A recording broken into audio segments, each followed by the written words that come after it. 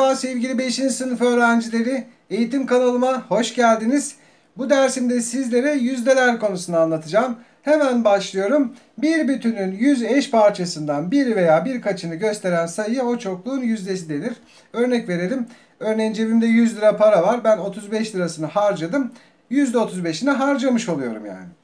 Yüzde sembolü şöyle gösteriliyor ve okurken de yüzde diye okunuyor. Şimdi paydası genişletildiğinde veya sadeleştirildiğinde 100 olabilen kesirler yüzde sembolüyle gösterilir diyor. Şunu anlıyoruz. Kesirlerde paydasının 100 olması gerekiyor. Yüzde sembolüyle yazmak için. Eğer paydası 100 değilse genişletme ve sadeleştirme uygulayacağız. Ondalık gösterimlerde nasıl oluyor onu da tarif edeyim. Hemen şöyle göstereyim. Bakın %36 zaten okurken de %36 gösteriyoruz. Peki bu nasıl oldu %35? Şöyle oldu. Şurada aşağıda ayrı bir şekilde göstereyim. 20'yi 100 yapmam lazım. Yüzde olarak ifade etmek için. 20 nasıl 100 yapılır? 5 ile çarpılır. Tabi yukarısını da çarpacağız. Bakın ne oldu? 100 oldu. Burası da 35 oldu. İşte bu yüzden %35 oluyor zaten. Ondalık gösterimleri hatırlarsanız şu ondalık gösterimin okunuşu zaten 0 tam %80. Yani yazılışı da böyle. Ve bu zaten paydası 100 yani. Hemen %80 yazabilirsiniz. Peki böyle nasıl oluyor öğretmenim derseniz %200 e, diye duyuyorsunuz mesela değil mi? Olabilir. %125 işte işçiler %125 zam aldı. İşte bu şekilde ifade edilir. Paydası 100 olduktan sonra üstteki sayının e, nasıl gösterildiği hemen yanına yazılıyor zaten. Önemli olan paydanın 100 olması. Şimdi alıştırmalar yapalım. Ondalık gösterimleri yüzde olarak gösterirken çok kolay. 0 tam yüzde 38. Zaten bunu hemen yüzde 38 yazabilirsiniz. Kesir olarak yazmak istersek böyle. 0 tam yüzde 74. Yani bu nasıl yazılır? Yüzde 74 olarak yazılır. Ve %74 hemen bu şekilde yüzdelik olarak da gösteriyoruz. %23 sıfır tam %23. Şöyle %23 olarak yazıyoruz. Sıfır tam %4. %4 yazılıyor. Yazarken de şöyle %4. Bunu nasıl yapacağız? Bu normalde nasıl okunuyor? Onda 3 olarak okunuyor değil mi? İki farklı yolu var. Buradakini hemen genişletirsiniz. Paydasını 100 yaparsınız ve yazarsınız. Ama daha kolayı şu. Ben bunun yanına bir sıfır ekleyebiliyordum değil mi? Ondalık gösterimleri hatırlarsınız. Buraya sıfır koymak buradaki ondalık gösterimin değerini değiştirmiyor. O zaman şimdi ne oldu? Sıfır tam %30. Demek ki bu %30'muş. Zaten genişletseydik de aynı sonuca varacaktık. Çarpacaktık 10 ile. İki tarafı da bakın. %30 olacaktı. Ama tabii bu uzun sürüyor. En kolayı bu. Bunu öyle yapalım. Bakın bir sıfır koyalım. %90'mış. Sıfır tam onda 9. %90 olarak yazabiliriz. Şöyle %90 olarak ifade edebiliriz yani buradaki ondalık gösterimi. Şimdi paydası 100 değilse ne yapıyoruz? Genişletme veya sadeleştirme. 10. Ne yapabilirim? 10 ile çarparım 100 olması için. Tabi bunu da çarpacağız. Ne oldu şimdi? 100 oldu. Burası da 30 oldu. Yazabilirim artık. 25. 4 ile çarpmam lazım 100 olmasını istiyorsam. 25 çarpı 4 100 ediyor çünkü. Yüzde ne oldu? 44 oldu. Yüzde 44'müş. 5'i nasıl yapıyoruz? 20 ile çarpıyoruz. Bunu da 20 ile çarpalım. 5 kere 20 100 oldu. 5, 2 kere 20 40 oldu. Demek ki yüzde 40'mış. Buradaki 5'te 2. Şimdi buradaki örneğe dikkat edelim. 15 sayısını herhangi bir doğal sayıyla çarpma yoluyla hemen 100 yapamıyorum. O zaman ne yapmalıyım? Ben bu kesiri biraz küçültmeliyim. Sadeleştireyim sonra genişletirim. Ee, mesela 5 yapsam olur değil mi? 5 yapmak için kime böleceğim? 3'e böleceğim. 12 bölünüyor mu? Bölünüyor. Tamam. 15 bölü 3 eşittir 5 oldu. Burası ne oldu? 4 oldu. Şimdi artık 100 yaparız. 20 ile çarparız. 100 oldu. Burası da 80 oldu. Demek ki %80'miş. Bu da aynı şekilde bakın 3 bölü 12. 12'yi hemen 100 yapamıyoruz çarpma yoluyla. O zaman önce biraz küçültelim. 3'e bölelim. Yukarısını da 3'e bölelim. 4 oldu. Burası da 1 oldu. Şimdi 100 yapılır artık. 25 ile çarpmak lazım. Yukarıyı da 25 ile çarpıyoruz. 100 oldu. Burası da 25 oldu. Demek ki %25'miş. Diğer kağıdımızı yapalım. Aşağıda verilen yüzdelik ifadeleri kesir çizgisi ve virgülle gösterelim diyor. Yüzde 23. Ne yapıyoruz? Şöyle değil mi? Ondalık gösterim nasıl oluyor? 0 tam yüzde 23 yani. Evet şurada yüzde 74.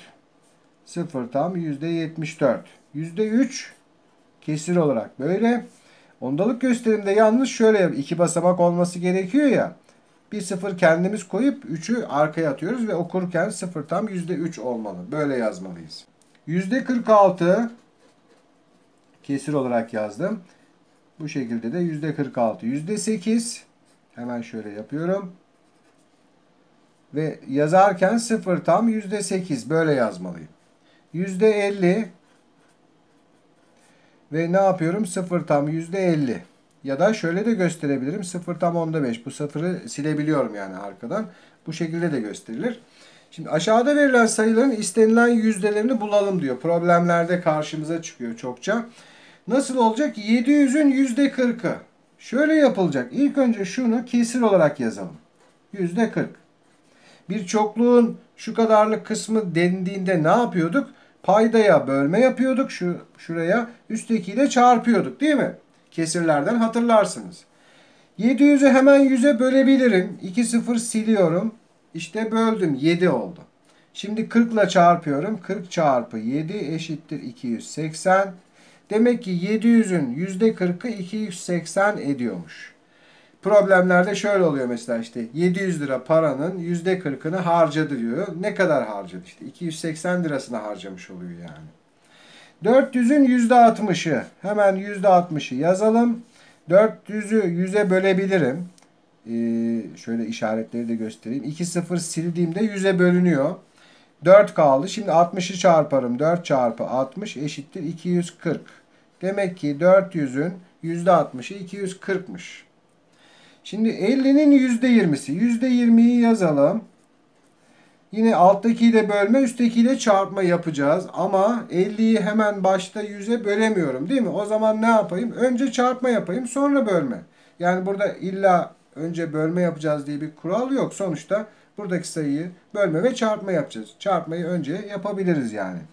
50 ile 20'yi çarpalım önce. Sıfırlar dursun. Kolay çarpma yapalım. 2 ile 5'i çarpalım. 2 kere 5 10. Şimdi bu sıfırları getirelim o beklettiğimiz sıfırları. Ne oldu? 1000 oldu. Şimdi 100'e bölebiliriz artık. 2 sıfır silince işte 100'e bölündü. Demek ki 50'nin %20'si 10 ediyormuş. Yani 50 kalemin %20'si diye bir problem gelirse 10 tane kalem ediyormuş yani. 150'nin %12'si. %12'yi yazalım. Şimdi 150'yi kalansız olarak başta 100'e bölemeyeceğim. O zaman önce çarpma yapayım. Sonra bölme yapayım. Kenarda çarpalım. 150 ile 12'yi. 2 kere 0 0 2 kere 5 10. 3 oldu. Evet 150 oldu. Toplayalım. 0 0 8 1800. Sonra bunu 100'e böleceğiz bir de değil mi? Önce çarpmayı yaptık. 2 0 sildik 18. Demek ki 150'nin %12'si 18 ediyormuş. Bir de yüzdeleri karşılaştırma konusunu göstereceğim. Ardından da birkaç tane problem çözeceğim sizlere. Şimdi hepsi yüzde olarak verildiğinde işimiz çok kolay. Burada doğal sayılar olarak bakıp ona göre sıralayacağız. Mesela e, büyükten küçüğe sıralayalım. Yüzde 70 yani 75 diğerlerinden büyük. O zaman bu başa gelecek. Sonra 30 var. Büyüktür işareti koyalım. Sonra yüzde 25 var ve en küçük yüzde yedi. Şimdi bu kolaydı ama öğrenciler şunlarda bazen takılıyor. Birisi ondalık gösterim verilmiş, birisi normal kesir, birisi de yüzde olarak gösterilmiş. Hepsini yüzdeliğe döndürelim. Ondan sonra karşılaştıralım. Bunu zaten döndürebiliriz. Sıfır tam yüzde sekiz. Yani yüzde sekiz bu. Aynı. Şunu ne yapabiliriz? Genişletmemiz lazım. Kenarda yapalım. Çarpma yapalım tabii ki 10'la 100 yapmak için. 10 e, kere 10 100 oldu. 4 çarpı 10 40 oldu. Yüzde 40'mış bu da. Şimdi artık sıralarım. Yüzde 40 hep bunlardan büyük. Bunu başa koymalıyım. Sonra yüzde 8 sırada. En küçük de yüzde 1 oldu. Bunu da yapalım. Bu zaten yüzde. Hemen şunu da yüzde olarak ifade edelim. Yüzde 13. Bunu da yine genişletelim 10'la. Eşittir 100 oldu. Burası da 30 oldu. %30'muş bu da. Şimdi sıralayalım. Bakıyorum %78 hepsinden büyük. İkinci %30. Üçüncü de %13 oluyor. İşte bu şekilde sıraladık. Birkaç tane de problem yapalım. Çok problem almadım çünkü problemleri aslında ayrı bir videoda anlatmak istiyorum. Çünkü problemleri de alırsak çok uzun sürer. Yüzdelerle ilgili çok çeşitli problemler var çünkü. Önceki yıllarda da ben çok problem videoları yaptım. Kanalımda bulabilirsiniz. Yeni nesil problemler dahi birçok çözdüm. Neyse devam edelim uzatmayalım. 10 penaltı atışında 6'sını gole çeviren bir futbolcunun gol atma yüzdesini bulalım. Şimdi böyle bir problemde hemen şunu yapıyorsunuz. Buradaki verilenleri yüz, şey kesir olarak ifade ediyorsunuz. Yani 10 tane penaltı atışı yapmış, 6'sı gol olmuş. Bakın artık kolay. Paydasını 100 yapacağız sadece. Hemen genişletiyorum. 10 kere 10 100 oldu. 6 çarpı 10 60. Demek ki futbolcunun gol atma yüzdesi %60. Yani attığı penaltıların %60'ını e, gole çevirmiş. Ayşe 75 lirasının 60 lirasını harcamıştır. Buna göre Ayşe'nin parasının yüzde kaçını harcadığını bulalım. Ne yapacağız? Hemen yine kesir haline dönüştüreceğiz. 75 lira parası var. 60 lira harcadı. Paydasını 100 yapmalıyız. Ama 75 çarparak hemen 100 olmuyor. O zaman küçültelim. Mesela bunu 3'e bölebiliyorum. Bunu da 3'e bölebiliyorum. Eşittir 75 bölü 3 25 oldu. Burası da 20 oldu. Şimdi 25'i 100 yapmak kolay. 4 ile çarpmam gerekiyor tabii ki. Ne oldu? 100. Burası da 80 oldu. İşte artık oldu. %80. Demek ki Ayşe parasının %80'ini harcamış. Bir sepette 20 tane meyve vardır. Bu meyvelerden 4 tanesi elma, geri kalanı ise portakaldır. Buna göre bu meyvelerin yüzde kaçının portakal olduğunu bulalım. Bizden ne istiyor? Portakalları. Burada ne vermiş? Elmalar. O zaman önce portakalları sayı olarak bulalım. 20 tane meyve var. 4'ü elma, geriye kalanlar portakal. 16. Pay kısmına da portakalları koyuyorum. Hemen kesire döndürdüm. Ve hemen paydasını 100 yapıyorum. 5 ile çarpıyorum. 20 çünkü 5 ile çarpınca 100 oluyor. 16 çarpı 5 ne yapıyor? 80 oluyor. Demek ki bu da %80'miş. Yani buradaki 20 meyvenin %80'i e, portakalmış. Umarım sizlere faydalı bir ders olmuştur. Her zaman olduğu gibi iyi çalışmalar, derslerinizde başarılar diliyorum. Başka derslerde görüşmek ümidiyle. Hoşçakalın.